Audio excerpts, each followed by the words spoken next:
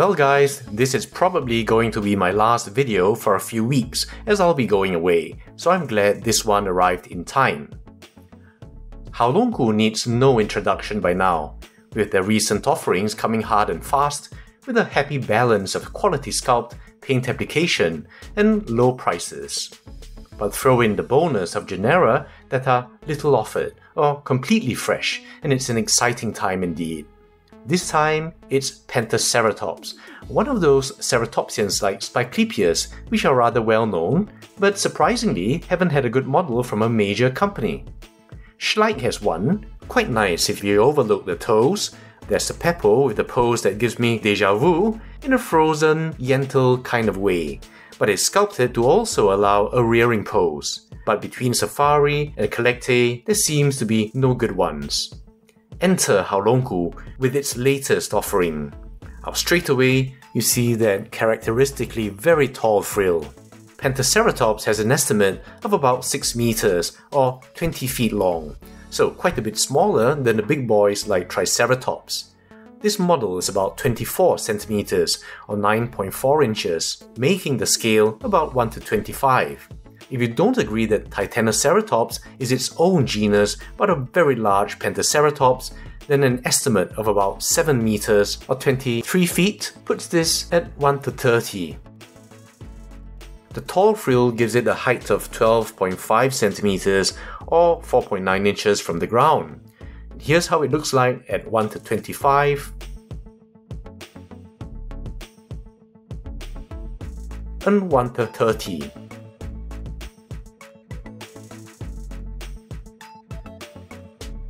Pentaceratops means five-horned face, derived from the Greek penta, meaning five, keras, meaning horn, ops, meaning face.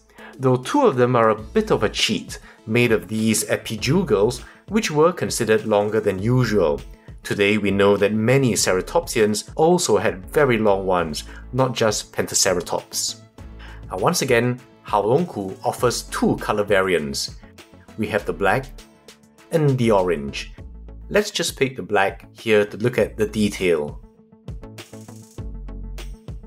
With the ceratopsians, the most obvious thing is the head and frill. Here you can see that long frill that characterizes Pentaceratops. And as a ceratopsian lover, it's something special to finally behold the impressive length of the frill made real. Now accuracy wise, given the variability in size, shape, and even number of epoccipitals across members of the same ceratopsian, there's no one correct answer. But some general comments can be made. First, the epiparietals. You have this very characteristic spread here, but the P1 is really big, even if I imagine a generous helping of keratin. The orientation is also a bit uh, suspect. The P2s are often reconstructed medially directed, as you can see here. Still, there's some variability, for example, AMNH 1625. P3s, however, uh, tend to be more rounded in various specimens than this, uh, which is very prominent and pointed. But again, argument can be made for overlying keratin and variability.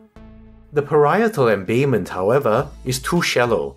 Now, across various specimens, whether the bottom ended in a round depression or a sharper vertex, the depth was obvious.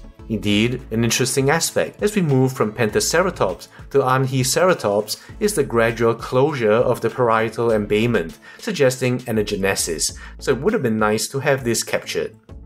The nice thing is this ridge, if I follow it, seems to end around here. If I'm right, then this is correct. Uh, you can see how long the squamosal extends, effectively limiting the area bound by the parietal, to the extent that the parietal holds only about 3 epiparietals. Most of the epoccipitals are episquamosals. The coloration and detail on each of these epoccipitals is pleasing, with tinges of orange to echo the frill. And also these textures.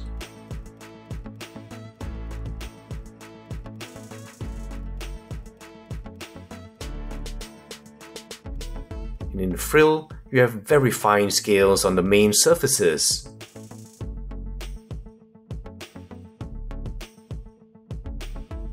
then getting larger towards the periphery. There is a roughness in these larger ones, but the feeling of crudeness is somewhat ameliorated simply because of all the fineness in the middle here. So you know this roughness is a deliberate choice.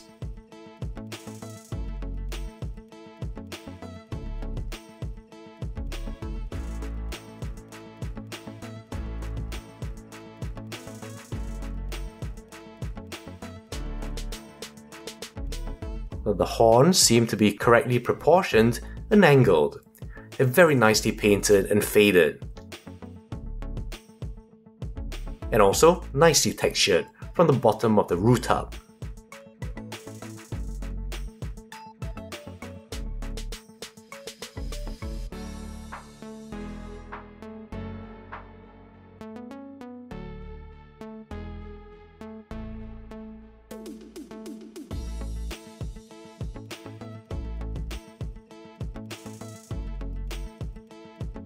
Now, the name-giving epijugal horns have an orange tinge that echo the frill, and the roots are kind of framed by this patch of dark skin. In fact, this accenting of dark to black here, and on the frill,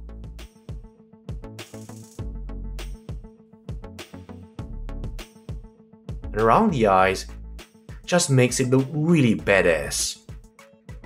The eyes are precisely painted, you can see it's got kind of a, an angry look with the pupils directed forward, with a yellow white iris and blue sclera, all very nicely painted, and symmetrically on the other side. And then the rest of the face, and yet more of that detail.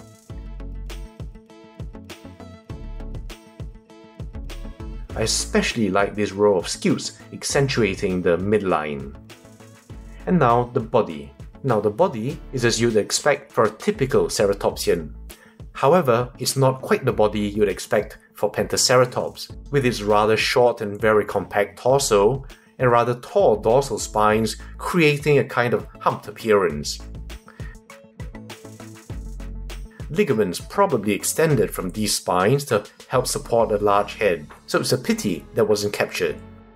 As we go down the animal, you'll see once again that very nice sculpting in the integument here along the sides. There are peppering of larger scutes, and the detail is of equal quality to Haolonggood's latest offerings. So is the paintwork as you observe the pattern and how naturally it fades in its transition to the surrounding skin. And so the body is very eye-catching, and there's less obvious focus on the head as is often the case with ceratopsians. Let me know if this kind of balance is something you like. And from above, we see an interesting speculative choice, the addition of rather crocodilian scutes in the midline area. How each is well separated with very well developed keels, so that from the side, it gives the back a crenellated profile. As far as I know, this has never been found in any ceratopsian, and while aesthetically pleasing to some, it might be an eyesore to others. After a while, you'll probably just get used to and ignore them completely. And surrounding them, just look at these small scales. It's certainly a different aesthetic from PNSO, but pleasing in its own way. In the legs, you see more of that patterning, making this a rather flashy animal throughout the body. Again, these creases we've seen elsewhere, giving it a cracked and craggy look we've seen before. At this larger size, perhaps something a bit finer would have been nice.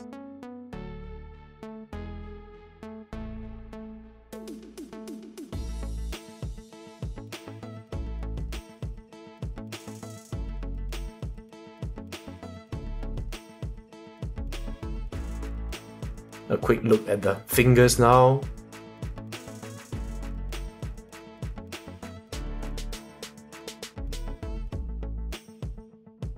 The toes.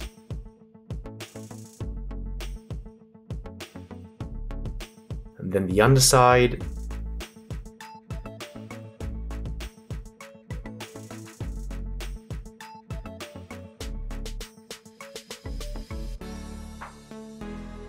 And finally, the tail.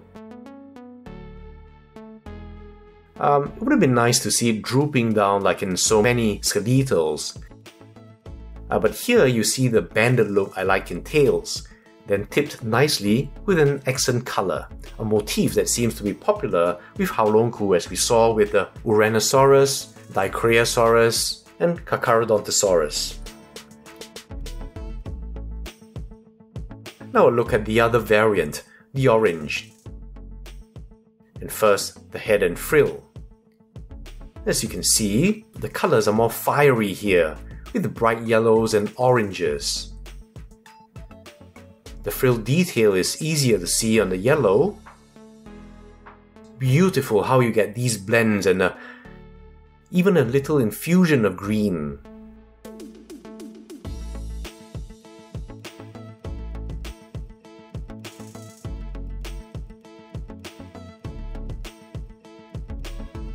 Again, the horny bits are tinted to reflect the main colors here.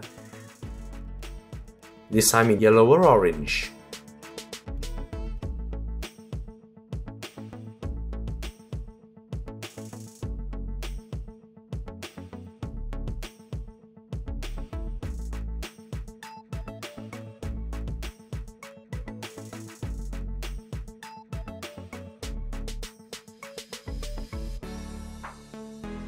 Down the face.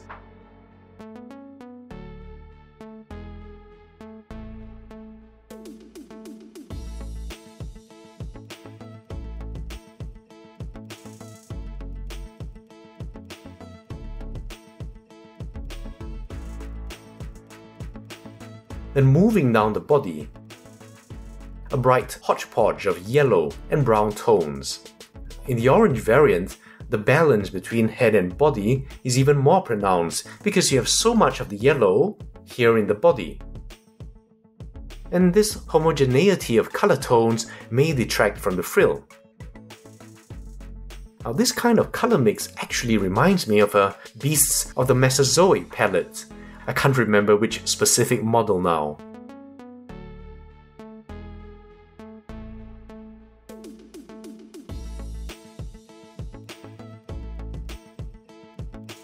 Then we have the limbs.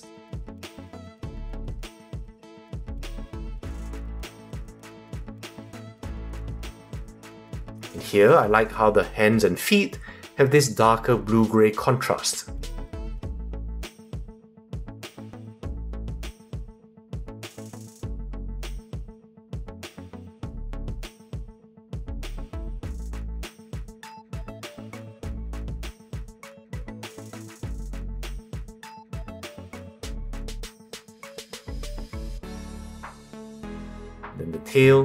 Once again tipped with an accent color.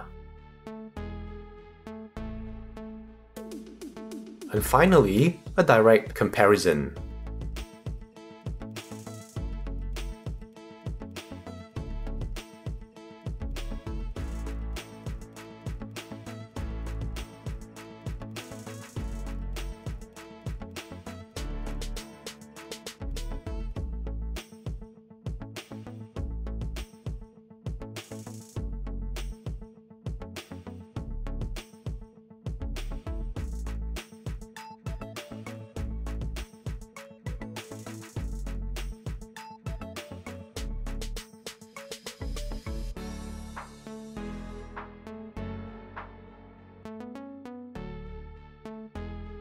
About the pose, um, I like the slight tilt in the head seen from the front, making it less static.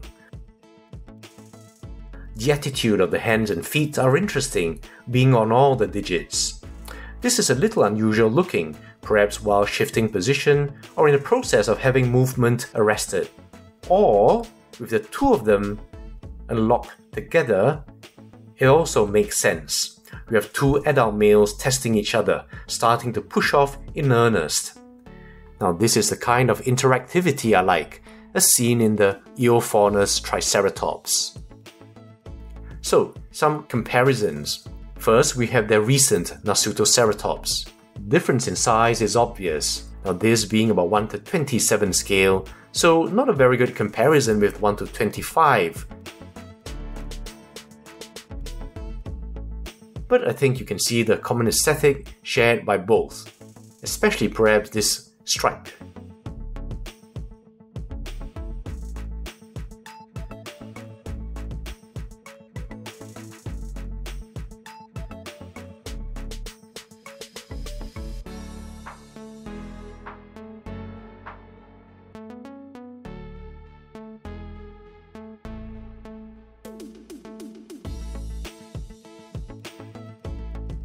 We have the PNSO Torosaurus, which actually is quite a bruiser, and you see the difference that scale makes, with this Pentaceratops being very close in dimensions.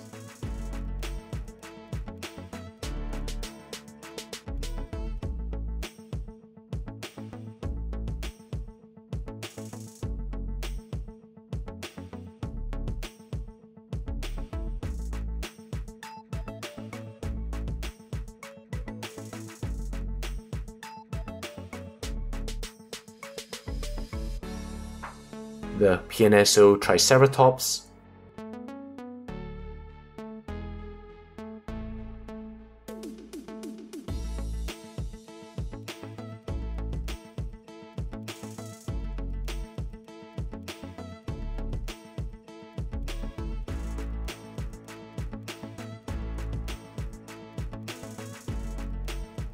I don't have a Bistahieversor, but I do have my customary size comparator, the Wilson T-Rex. So that's it for my review of the Haolonggood Pentaceratops. Except for the proportions of the body and some minor frill characteristics aside, I'm delighted to have a representation of this long neglected ceratopsian. In fact, it's the only one I have. The skill and quality of the paint application is still as good as the last three releases, and I hope it will stay as Haolonggood's baseline standard at the same affordable prices. It blows the current standard of paint apps from CollectA and Wild Safari out the water, which is a pity because those two often have very good sculpts, just let down by the paint.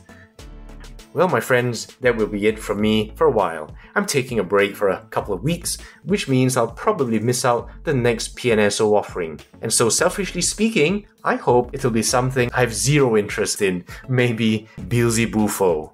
If not, I guess I'll just be watching the reviews with the rest of you, something I haven't had the time to enjoy for a long time. So, have a good couple of weeks ahead, be nice to each other in the comments, and I'll see you in the next video.